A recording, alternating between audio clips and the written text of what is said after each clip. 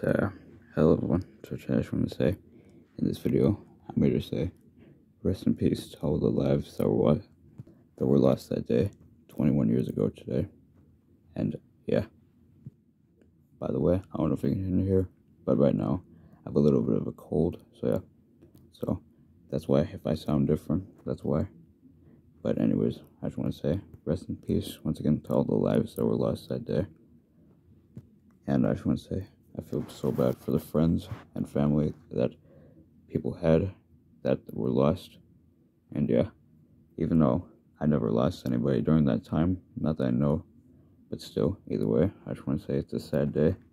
And yeah, like I said, I just basically, like I said, I just feel so bad for the people that were lost that day.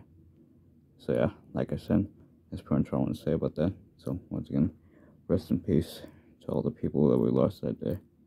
Anyways, yeah, thanks for watching. Bye. Bye.